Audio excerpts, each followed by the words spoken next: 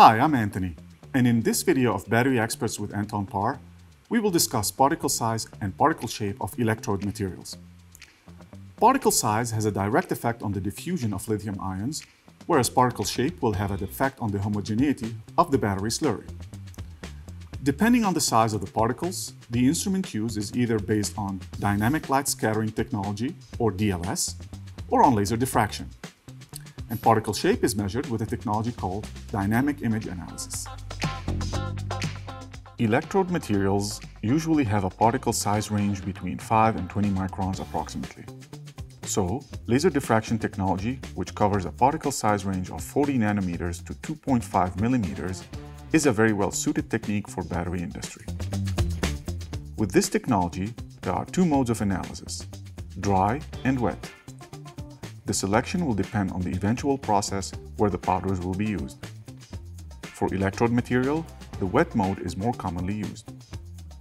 Once you select the analysis mode in the software, in this case wet, you move to select the reconstruction mode, then the type of materials you are analyzing. The analysis starts with a background measurement first. As soon as the sample is added, you can see a live camera image of the circulating liquid. Pressing continue will start the measurement. The analysis stops once the size distribution is computed and the median particle size of electrode material is automatically calculated. For particles that are in the nanometer range, DLS is a better suited technology since it covers the range of 0.3 nanometers to 10 microns.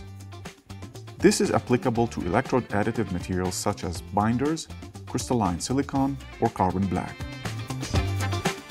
For DLS measurements, the sample is placed in a cuvette.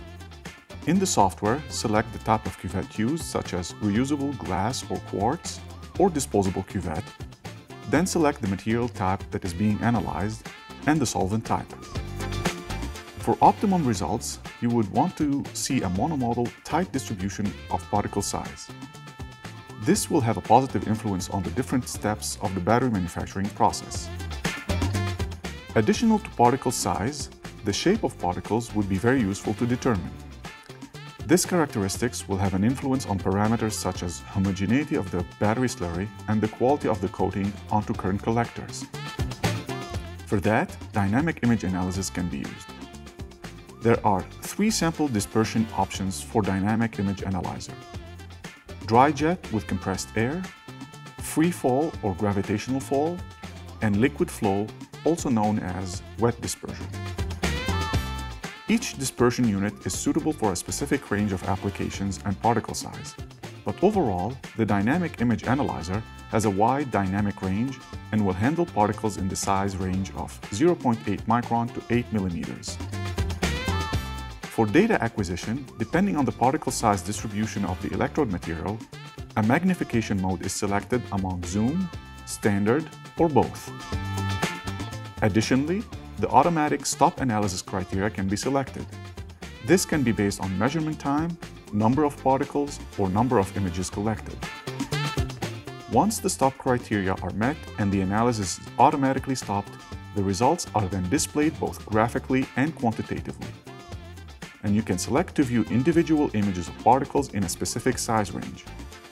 This will provide comprehensive information about the electrode material and can help optimize its production process. So in a lithium-ion battery cell, particle size distribution of electrode material will directly influence the power density and the energy density of the produced battery. And the particle shape will play a role during the manufacturing process of battery slurries.